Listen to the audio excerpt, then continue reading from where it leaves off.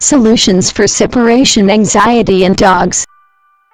Hello everyone, Robo Jude is a bit busy with the Dog Help Forum, so I decided to do her Q&A video for her today, and besides, I can't let Jude. I mean Robo Jude, have all the fun, right? Welcome to a special Q&A video, with Sharda, or as Jude puts it, Robo Sharda. I really try my best to answer all of the emails that I receive daily, but this is simply impossible. So, Jude and I created this dog help forum so that everybody can help and be helped by us and other dog owners from the four corners of the world.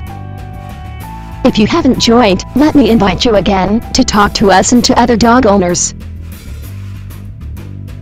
You can visit our dog help forum at www.doghelp.info. So, Arthur, what do you have for us today? Well, Sharda, we have an interesting topic today.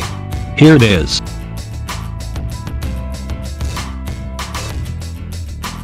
Help! My 8-month-old male Yorkie has separation anxiety.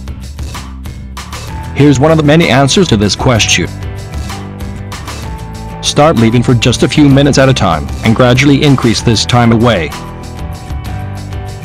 Do not make a big fuss of you leaving, your dog should see you go out and come back in.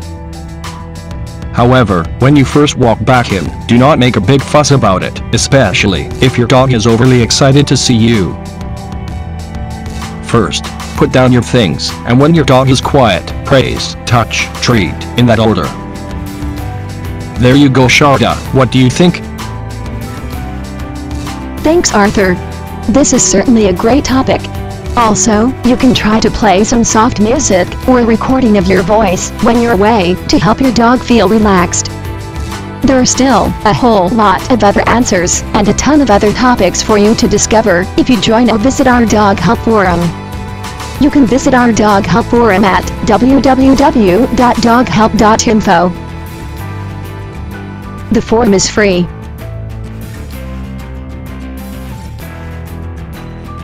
Thanks for listening, and see you there.